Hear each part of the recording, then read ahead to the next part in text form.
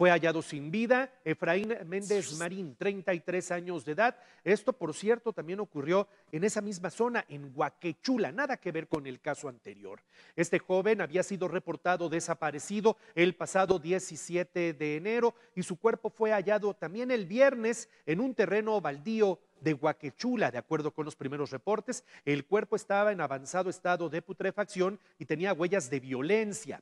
Ya se realizan las investigaciones correspondientes.